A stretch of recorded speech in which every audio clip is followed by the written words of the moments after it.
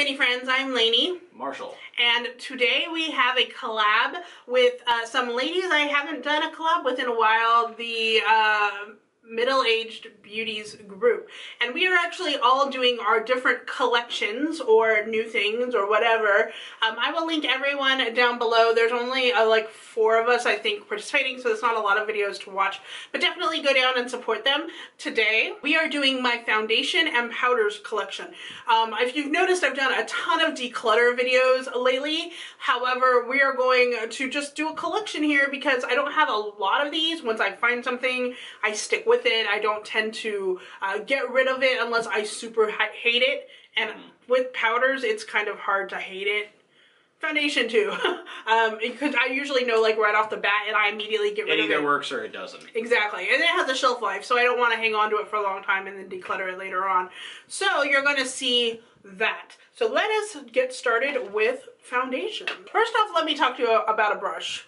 I'm gonna tell you a brush for each one, kind of. For foundations, I use this flat top brush. This is from Eco, Echo Tools. It's like a kabuki flat top brush. I like it because the bristles are really nice and dense, but yet also a little bit fluffy, so I can just get all that in there. Um, or, of course, you use your beauty sponge. This is the uh, container that I found online. This is called Blender L, and what I love about it is it just has, it turns, and you can get your sponge out but the bottom and the side of it have holes so that the air goes in and it doesn't get moldy and then it doesn't make everything else wet. This is not a beauty blender, this is another off-brand, I can't remember what it is, but I also use that for certain foundations as well. This is the IT Cosmetics CC Plus cream. I have two of them. I have it in fair and I have it in light.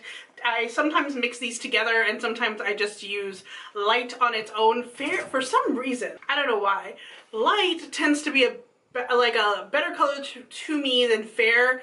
Like I always use the lightest one. Fair tends to turn my skin a little orange, even though it's a lighter shade.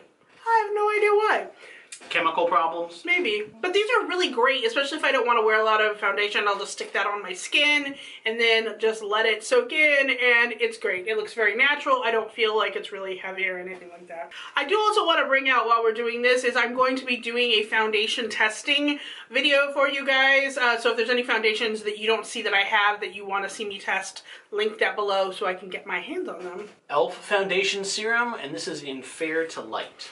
Uh, I do love this as well. It's very close to the CC uh, creams. It is very light. It is not heavy and not greasy and it lasts pretty much all day. This is the foundation serum one. is probably the best e.l.f. foundation that I found. This is the LA Girl Pro Matte in Ivory shade. I actually haven't used this yet. I bought it for the testing purposes, uh, but everyone says the LA Girl foundation is really great, so I decided to try that as well. This is Essence Fresh and Fit uh, in the shade of Fresh Ivory. I think this is the lightest shade in the line. I'm actually wearing it today. It's not horrible. Um, I love the way it feels on the skin, but quite honestly, I, I, think it might be too dark for me, just a little bit. And I'll, and you know, when we do the foundation video, I'll tell you how I offset that a little bit, but I don't know, the shade itself just seems like it's a lit, like a tiny bit too dark for me. I don't tend to bronze in the summer at all. I don't get yeah, and it does tend. I think it has just a little bit too much yellow in it. I think so too. Yeah. Mm -hmm. NYX Total Control in the shade of light. I don't use this very often, but again, this is a nice light one. The, sometimes though, I feel like it makes me a little too oily. I have a very oily T-zone, but I have very dry cheeks. So sometimes I think it just makes me too oily, but it, I like it. Bare Minerals Bare Skin in the shade of Bare Porcelain. This one I actually got because I got myself color matched at Sephora, and that was on my list. Um, I do like this a lot. I just feel like you have to blend it really well in order to get it to work right. But um, I don't tend to reach for this as often as I should, but it is still a, a nice foundation. L'Oreal Paris in the Infallible line. Um, this is in the shade of Classic Ivory 301.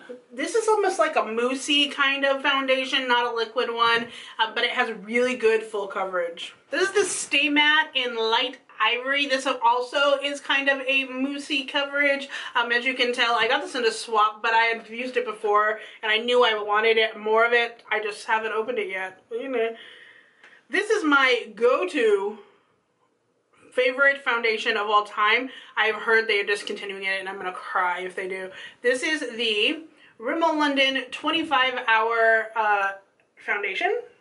25 hour. 25 hour in the shade Classic Ivory. I also got a pump for this uh, from Beauty MP, which is no longer around anymore. But I get a pump for it, so it does have a pumpy on the top. But uh, this makes your skin look so good. I love the ones with the serum, which is probably why I like the e.l.f. one because the serums tend to make your skin look a lot better. This is the Wet n Wild Photo Focus Foundation, and it is in the shade Rose Ivory. This one is weird because it has a paddle. Not a doe foot applicator, it's an actual paddle, but I do use this a lot. I probably this is probably the one I reach for almost every day just because I can swipe it on and then use the beauty, the beauty sponge to blend it out. But I mean, I really like this one. Some people don't, but I do. This one I think is actually too dark for me. This is the Makeup Forever Ultra HD in R23. I think it's too dark. I, am still I'm scared to try it because I feel like it might be too dark for me. I really can't comment on this. That is the end of my foundations. Next we are going to talk about powders and I have two different kinds. I've got loose powder and I have the uh, pressed powder. For the loose powders, I got this Real Techniques Kabuki, not Kabuki brush, no, but there's a Kabuki's in the line. But I got this Real Techniques brush. I'm not gonna lie, this brush um, I got it when it was like 20% off and I had a coupon and a bunch of stuff. Because I think it's like $16 but it's it's got this really pretty handle and it is perfect for loose powder because you just dust everything on and Oh, it's awesome, and you can tell I need to wash it, but uh, it's so fluffy and so awesome. So if she didn't say it, I would. That thing is fluffy. It's fluffy, so fluffy. That's the Real Techniques brush. Pick it up at Ulta if uh, they have an entire line with like this really awesome purple glitter handle. Um, but let's jump in. I will say that uh, the loose powders are not something that I have used a lot in the past, uh, mostly because they make a mess I feel like they get all over me, but I decided I wanted to try more loose powders lately, and that is why I'm doing this. I don't have many. I'm just letting you know. This will be fast. Yeah. Tarte, smooth operator. I haven't used a lot of this.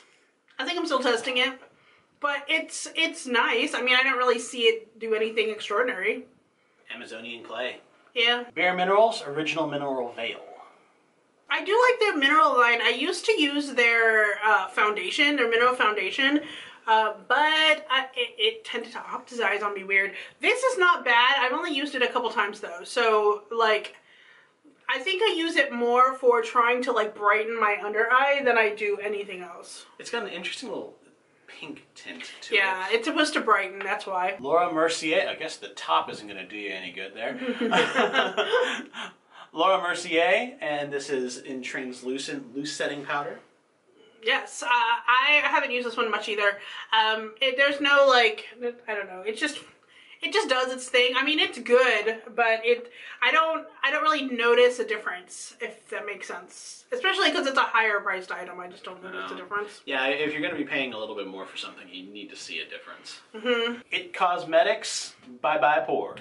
I actually have like three of these. Um, I I don't know why. I just kind of like started accumulating these.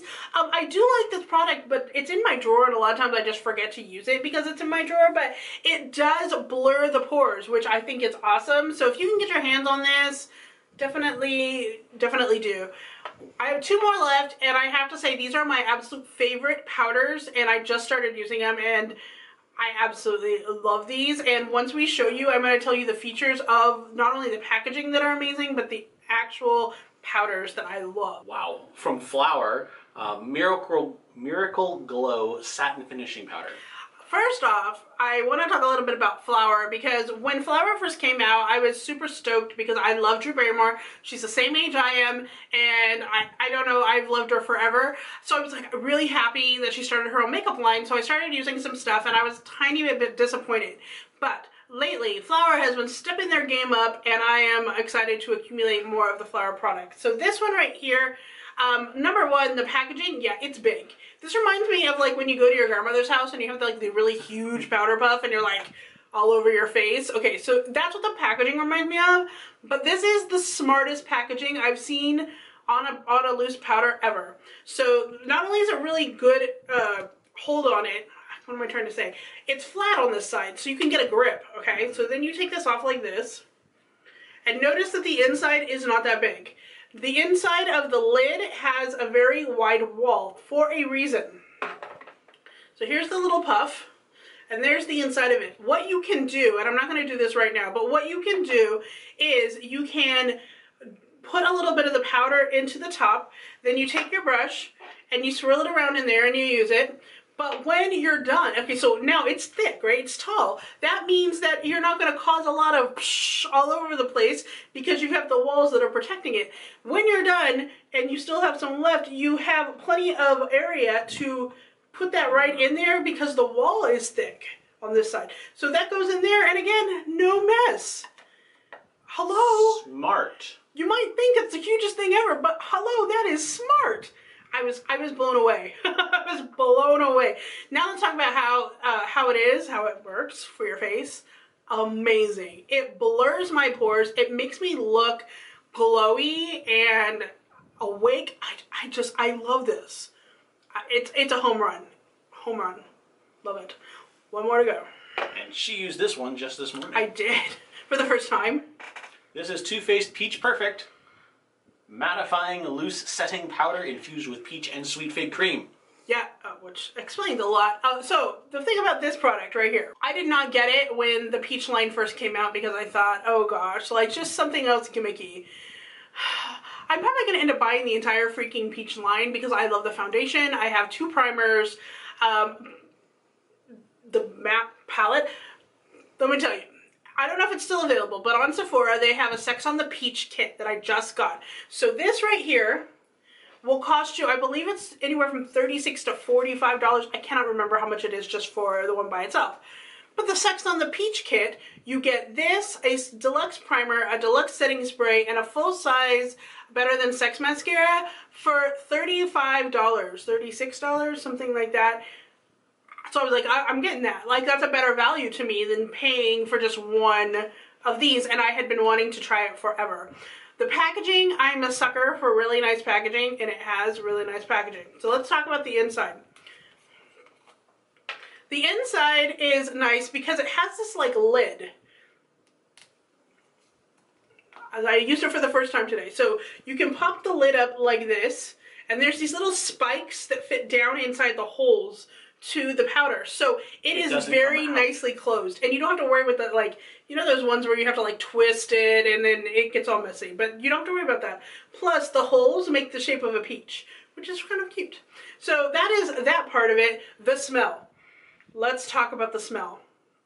Everyone said this has the best smell and they were not lying. When I dusted it on this morning, I was like, it's like peach candy and I could almost taste it if that sounds strange. but That's it, really... It doesn't sound strange because your sense of taste is mostly your sense of smell. It, it, it was divine and then I put it on and I felt like it really helped my foundation to just smooth out, you know, and it made my skin look better. Even though the foundation that I was using was a little bit dark for me, it really helped brighten everything up. Oh, good. I think it's worth it, even though it's high end. So here's my favorite drugstore, and here's my favorite high end, guys. So if you're looking for one or the other, this does not have the really nice smell, but these are pretty close in, in what they do for your face. They are pretty close. And, you know, if you ever run out in the flower and you're just completely empty, you just take another one that you like and put it in that container. That is true.